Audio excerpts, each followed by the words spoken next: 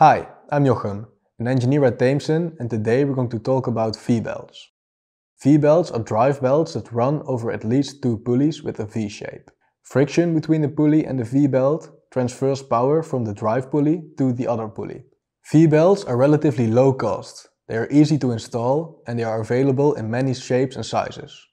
As a result, they are widely used in industry. Think for example of transport drives, fans, and automotive and agricultural equipment. There are three common types of V-belts. The classic V-belt, a V-belt with a narrower profile, and a toothed V-belt.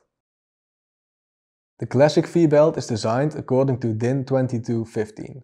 They are available in a wide variety of profiles. Small profiles are suitable for high belt speeds and low torque applications.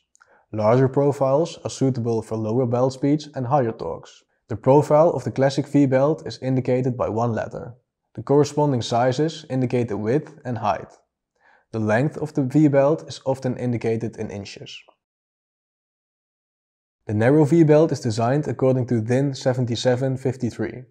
These have a relatively high profile and can therefore transmit greater forces than those with classic profiles. As a result, fewer V-belts are needed to transmit the same power. The narrow V-belt works best with compact drives and drives that require greater power. The profile is indicated by three letters and the length is indicated in millimeters. In contrast to the classic and thin V-belts, the toothed V-belt has no coating. It is designed according to DIN 7753. Compared to the coated V-belts, they are more wear resistant and can transmit more power. Thanks to the teeth and the absence of covering, they are more flexible than V-belts with a narrow profile. This allows the belt to be used on smaller pulleys. As a result, this belt type is often the most suitable choice.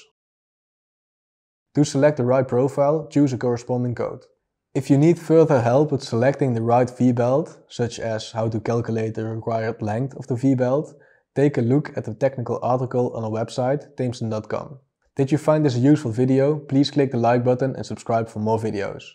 Do you have any other questions? If so, post them below this video or contact me or anyone else from Tameson.